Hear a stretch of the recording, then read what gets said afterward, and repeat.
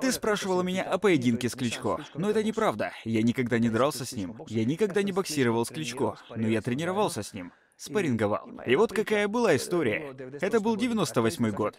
Сейчас я расскажу вам все как есть. Владимир Кличко позвонил мне. Не помню, кому именно он тогда тренировался. Мы потренировались, я ему понравился, и он позвонил мне снова, так как его противником был левша. И вот что случилось. Само собой, он меня отметелил. Мужик ведь здоровенный, олимпийский чемпион. А я тогда был мелкой ящерицей. Я не испугался, отдал хороший отпор, контратаковал. Но он побил меня.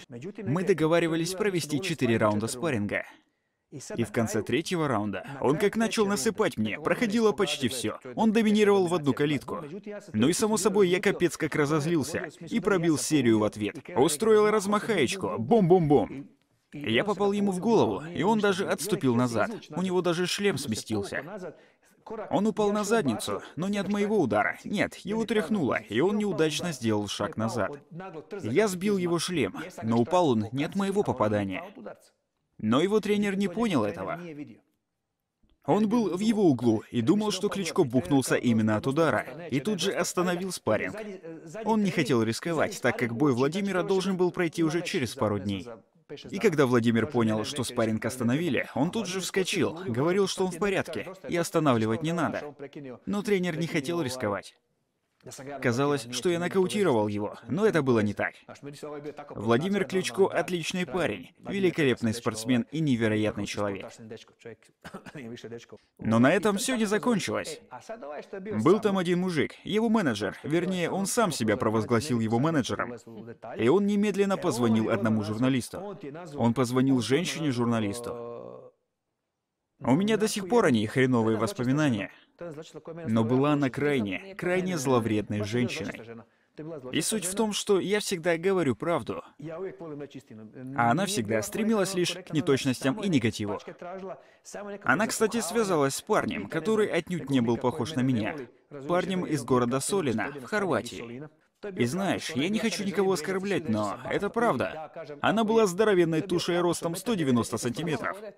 Ты вообще слушаешь меня? Говорю ведь, это был Крампус. Крампус ростом 190 сантиметров и весом 110 килограмм. И она была поистине злой, плохой женщиной. Итак, самопровозглашенный манагер звонит ей и говорит, «Мирка вырубил Владимира Кличко в спарринге». Я был настолько зол. Я спросил его, что он там такого наговорил. Но журналистка оказалась не глупой и сама позвонила Кличко, спросив обо всем. Он ответил, что не знает, почему Мирка говорит такое, потому что это неправда. Было ощущение, что на меня попросту нассали. Мне было настолько стыдно. Я не знал, как теперь снова смотреть в глаза Кличко. И я-то знал, что произошло. Владимир упал, потому что хотел отшагнуть назад, а пол оказался влажным. Он упал только потому, что поскользнулся. Тренер не видел этого и остановил бой. А я толком и не ударил Кличко. Я зацепил его шлем. Я засадил с оттяжечкой, но не попал по нему. Но та журналистка написала, что я нокаутировал Кличко. Если говорить откровенно, то я тогда... Тогда был ноунеймом. Так что все выглядело так, будто я лгал. Но я был невиновен во всем этом. Перевел озвучил канал Old School Combat. Жми лейкоцит, засади по этой кнопке подписаться и помни старую школу.